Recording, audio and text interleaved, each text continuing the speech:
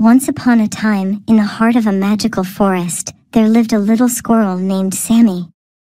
Sammy was no ordinary squirrel, he had a fluffy tail that was always buzzing with energy.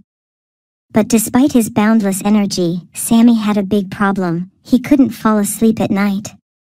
Every evening, while all the other animals in the forest snuggled into their cozy beds, Sammy would toss and turn, his mind racing with thoughts of adventure and excitement. No matter how hard he tried, sleep eluded him.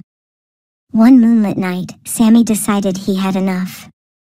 He ventured deep into the forest, seeking the wise old Ollie, known for his sage advice.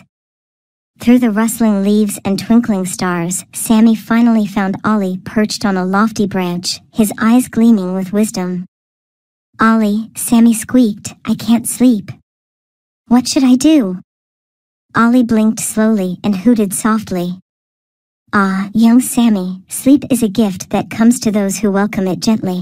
Close your eyes, my friend, and let the whispers of the night lull you into dreams. Sammy listened intently and followed Ollie's advice.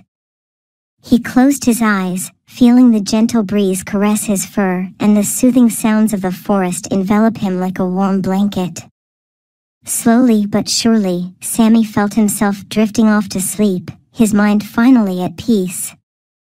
From that night on, Sammy embraced the magic of bedtime, welcoming each new evening with a heart full of gratitude.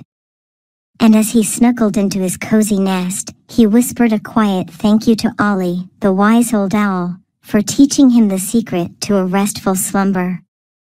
And so, in the heart of the magical forest, Sammy the squirrel found his sweet dreams,